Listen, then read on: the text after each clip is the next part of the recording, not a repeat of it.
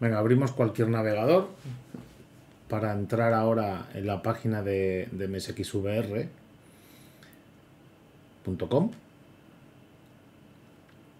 y nos vamos a recursos, resource en inglés, entiendo que saldrá.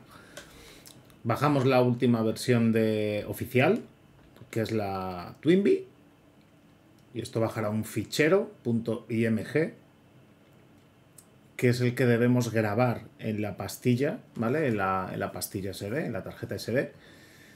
Y bueno, yo ya lo tengo descargado, por eso aparece que es el fichero número uno, pero bueno, eh, con paciencia y con, dependiendo la velocidad que tengáis, pues tardará más o menos tiempo. No hay que hacer nada más. El siguiente paso es guardar eh, la imagen, ¿no? Grabar o quemar, como dicen algunos, la imagen del fichero IMG a una tarjeta SD. Yo para eso uso un programa que se llama Win32 Disk Imager. Y bueno, hay otros, está el Balena Etcher o cualquier otro y da igual, cualquiera vale. En el vídeo aparece todo muy acelerado, ¿vale? Porque realmente necesita casi 5 minutos para, para grabar la imagen. Bueno, pues tenemos ya la SD. A ver si se ve por aquí. Ahí. Una SD. Con un adaptador. Se lo vamos a meter al bicho. Ahí está. Y vamos a ver si el OBS Funciona bien con la capturada. Venga, vamos al power.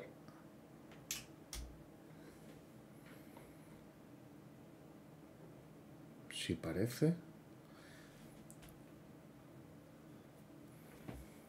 A ver, en el primer arranque, nada más grabar la SD, va a tardar un ratito, ¿vale? Porque lo que hace el sistema, de hecho lo hace el Linux de la Raspi, de la Raspberry Pi, vaya, eh, es expandir eh, la imagen a la totalidad de, megas o gigas, en este caso, que tenga la tarjeta. Pues si tenemos una tarjeta de 16 o de 32, en la imagen realmente son 3 o 4 gigas, pues se tiene que expandir, ¿no? Es una especie de descomprimir, etcétera. Así que tardará, tardará un poquito.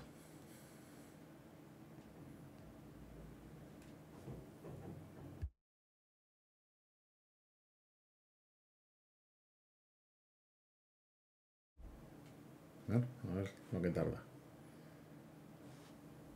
Esto está bien, ¿no? Muy bien. Ahí tenemos las lucecitas, aquí.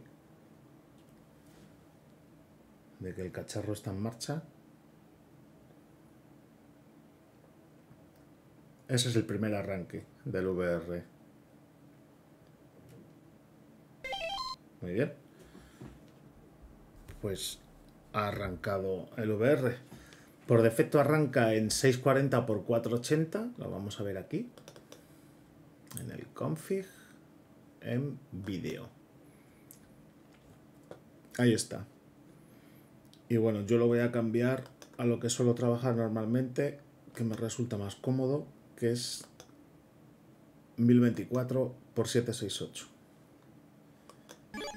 Y esto va a requerir un, un reinicio porque lo que hace realmente es cambiar un fichero de configuración del arranque de la Raspberry Pi, de la placa, y para tomar ese cambio pues necesita reiniciarse la máquina.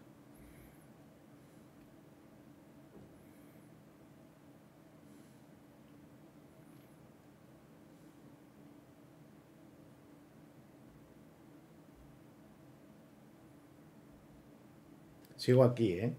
Mira, mira, estoy aquí. Que necesita su tiempo. Sí, tarda más o menos, ¿qué voy a decir? No sé, 9, 10 segundos, tal vez. Bueno, lo que sea. No tengo ninguna prisa. Vale, pues ya tengo la resolución a 1024. Voy a seguir configurando cosas porque mi VR está configurado el teclado. Vamos, tengo un teclado en inglés así que vamos a ponerlo en inglés. Y el idioma también en inglés.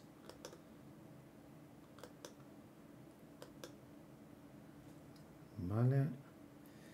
Y el keyboard Esto es en mi teclado, por alguna mágica razón, eh, a ver, pasan todos, ¿eh? Todos los teclados estos tienen un firmware que lo que hace es cambiar eh, la repetición de las teclas. Igual pulsas la A una sola vez y ¡bumba! Y se escriben 3, 4 o 10 As. Pues aquí en el VR se puede cambiar aquí, ¿vale? Con este, con este comando, el delay. Y yo lo pongo siempre a tope, que a mí me va bien así. Vale, pues ya tengo mi teclado inglés y el idioma inglés. Ahora voy a cambiar el arranque. El arranque por defecto es VR System, ¿vale? A ver, VR System. ¿Qué es VR System? Esto es VR System. El sistema gráfico, ¿no? Tipo ventanitas e iconos del VR. Entonces, eh, Mira qué gracia. Aquí no, aquí no se cambia el idioma, solo me lo ha cambiado en el config. Bueno, en cuanto haga un reset se cambia esto. Eh, yo no quiero el VR System en mi arranque, ¿vale? Yo trabajo siempre y me gusta hacerlo en VR2. Así que le digo que cambio el arranque a VR2 y que mi máquina por defecto va a ser un MSX2. Vale, vamos a tomar los cambios. ¿Qué es esa máquina V-Machine? Pues eso es que cada vez que yo vaya a lanzar un juego, ¿vale? Una ROM, un DSK, un lo que sea, lo va a hacer bajo una máquina virtual de MSX2. Vale, como veis, tengo mucho espacio desaprovechado en la pantalla. Y esto se puede cambiar con, pulsando Control Alt 8 que pone ahí abajo vídeo ajuste por 3.